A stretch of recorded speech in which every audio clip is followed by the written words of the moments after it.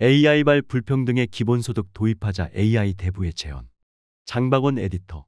인공지능의 기초 이론과 활용 기술을 개척한 제프리 힌턴 토론토 대학 교수가 AI가 초래할 불평등을 해결하려면 각국 정부가 기본소득을 도입해야 한다고 주장했다.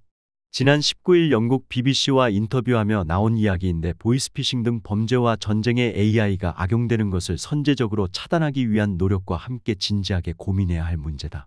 힌턴 교수는 1980년대 중반 AI의 토대가 된 딥러닝의 알고리즘을 발표했고 많은 AI 전문가를 양성했다.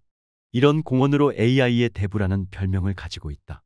지난해까지 구글에 몸담으며 첨단 AI 개발에 매진했으나 지금은 AI의 위험성을 알리는 데 앞장서고 있다. 특히 AI가 인간의 생물학적 지능을 뛰어넘을 수 있고 그렇게 되면 핵무기만큼 위험할 수 있다고 그는 경고한다. 힌턴 교수는 BBC와 인터뷰하면서도 AI가 범죄뿐 아니라 치명적인 무기로 사용되는 비극을 막아야 한다고 강조했다. 그렇지 않으면 AI가 인간에게 멸종 수준의 위협이 될 것이라고 했다. 그는 AI를 규제하려면 제네바 협약과 같은 국제 협약이 필요하고 AI의 군사적 사용을 전면 금지하는 게 가장 좋은 해결책이라고 제안했다. 통제되지 않는 AI가 가져올 또 다른 불행한 미래는 소득과 부의 극단적인 양극화다. 힌턴 교수는 AI가 생산성과 부를 증가시킬 것이지만 많은 일상의 직업을 대체하며 부유층의 부가 돌아갈 것이라며 모든 시민에게 일정한 양의 현금 소득을 지급하는 방향의 복지 개혁으로 기본소득은 매우 좋은 생각이라고 설명했다. 크리스탈리나 게오르기에바 국제통화기금 총재도 최근 힌턴 교수와 같은 취지의 발언을 했다. 그는 지난 13일 스위스 국제학연구소가 주최한 행사에 참석해 AI가 쓰나미처럼 세계 노동시장을 강타할 수 있다고 했다. 그러면서 AI가 앞으로 2년 내 선진국 일자리의 60%, 전 세계 일자리의 40%에 영향을 미칠 것이라고 전망했다. 게오르기에바 총재는 우리가 잘 관리하면 생산성을 엄청나게 높일 수 있겠지만 우리 사회에 더 많은 거짓 정보와 불평등을 가져올 수도 있다고 경고했다. AI는 이미 우리 생활 깊숙이 자리 잡았다. 기업은 물론 학교와 가정 등 거의 모든 곳에서 활용된다. 범용 AI 기술은 이제 막 싹트기 시작했으나 의학 등 특정 분야에서는 인간을 능가하는 능력을 발휘하고 있다. 오픈 AI가 범용성을 띤 챗GPT를 개발하고 그 성능을 고도화하면서 AI 발전 속도는 훨씬 빨라졌다. 구글과 마이크로소프트, 아마존, 애플 등 세계적인 빅테크 기업들은 인터넷 이후 가장 큰 변화를 몰고 올 AI 인프라 선점을 위한 대규모 투자에 나서고 있다. 현재 AI가 도달한 기술 수준을 짐작할 만한 사건이 최근 일어났다. 오픈 AI는 지난 13일 공개한 GPT-4 음성 서비스 중 하나인 스카이 사용을 중단하기로 했다. GPT-4는 인간이 질문하면 빠른 응답으로 세계를 놀라게 한 범용 인공지능 모델이다. 지난 2013년 AI를 주제로 한미래 영화 그녀에서 인간 목소리를 낸 AI를 그대로 구현했다는 평가가 나오기도 했다. 영화에서 목소리의 주인공은 배우 스칼릿 조앤슨이다. 그런데 GPT-4 스카이가 조앤슨 목소리와 매우 유사하다는 지적이 나왔다. 이에 조앤슨이 반발했고 오픈 AI가 사용 중단을 선언한 것이다. 이는 AI가 실제 사람 목소리와 구분되지 않을 만큼 발전했다는 것을 뜻한다.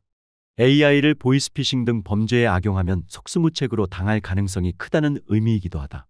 미국과 유럽연합 등 주요국은 AI의 이런 위험성을 막기 위한 규제에 나서고 있다. 21일과 22일 열리는 AI 서울 정상회의도 AI의 안전성이 주요 의제 중 하나다.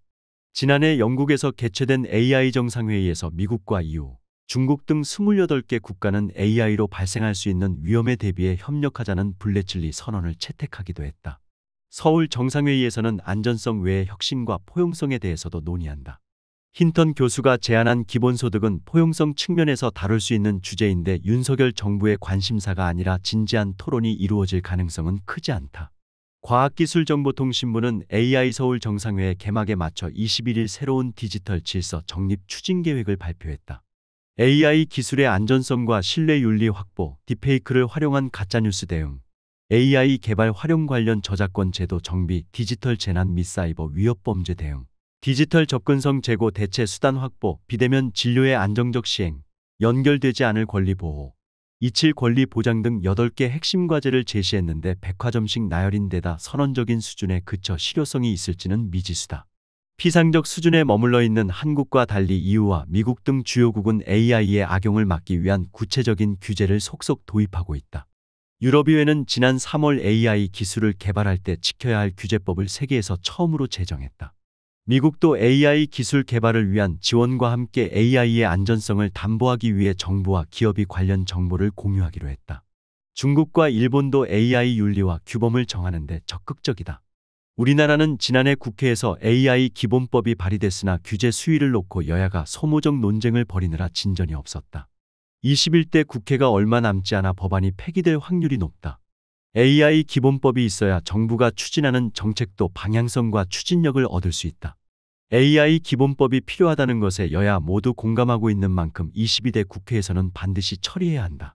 기본법에는 AI의 안전성과 AI가 초래할 불평등 해소 방안도 담아야 한다. 이때 AI의 대부 힌턴 교수가 제안한 기본소득 도입도 대안 중 하나로 고려해 볼 수 있을 것이다.